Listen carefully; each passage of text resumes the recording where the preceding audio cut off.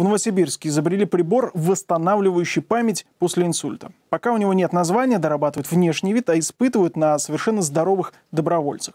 По сути, это изобретение комплекс источников, воздействующих на мозг светом, звуком и магнитными полями. Внешнее устройство выглядит как плавательные очки со светодиодами и обычными наушниками. Технология известная, но впервые эти методы объединили именно новосибирские разработчики. Ученые считают, что с помощью этого изобретения удастся восстанавливать связи между поврежденными участками мозга.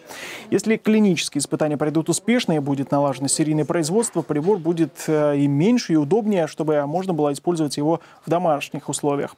Уже посчитали примерную стоимость 10-15 тысяч рублей.